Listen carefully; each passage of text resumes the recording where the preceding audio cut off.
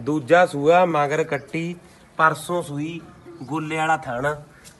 10 litre ਜਮਾ ਦੁੱਧ ਤਿਆਰ ਹੈ ਹੁਣ ਇਸ ਟਾਈਮ ਨੈਟ ਤੇ ਕੱਦ ਕਾਠ ਵਾਲੀ ਝੋਟੀ ਹੈ ਜੀ, ਸ਼ਾਹ ਕਾਲੀ। ਇੱਕ ਨੰਬਰ ਚਵਾਈ ਹੈ ਜਮਾ। ਥਣ ਤੁਹਾਨੂੰ ਬਹੁਤ ਸੋਹਣਾ ਲੱਗਿਆ ਜੀ। ਮੋਟੀ ਪੋਲੀ ਧਾਰ ਹੈ। ਸਾਰੀ ਸੋਨੇ ਵਰਗੀ ਹੈ।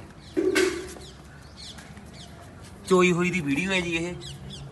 ਅੱਧਾ ਕ ਦੁੱਧ ਚੋਇਆ ਹੋਇਆ ਹੈ।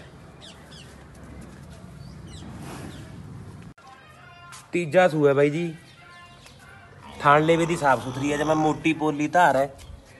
ਪਿੰਡੇ ਦੀ ਬਰੀਕ ਆ, ਕਾਗਜ਼ ਵਰਗਾ ਪਿੰਡਾ ਹੈ ਜਮਾ ਮਗਰ ਕੱਟਾ, ਤਾਜੀ ਸੂਈ 12 ਲੀਟਰ ਦੁੱਧ ਮਿਣ ਦਾਂਗੇ ਜੀ, ਸਮੇਤ ਬੱਚੇ ਦਾ।